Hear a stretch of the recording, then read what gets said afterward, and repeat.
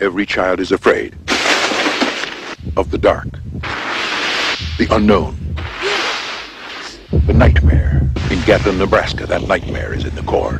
Ah! Stephen King's Children of the Corn.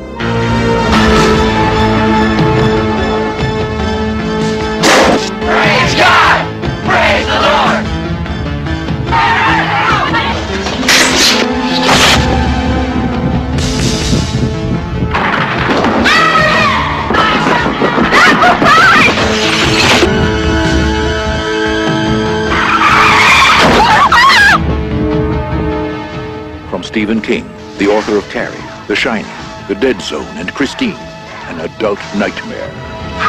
Children of the Corn. I'm here, Lord! I'm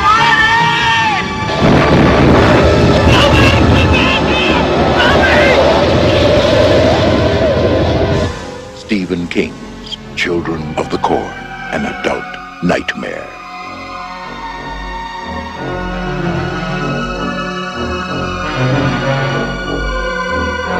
Coming soon from New World Pictures.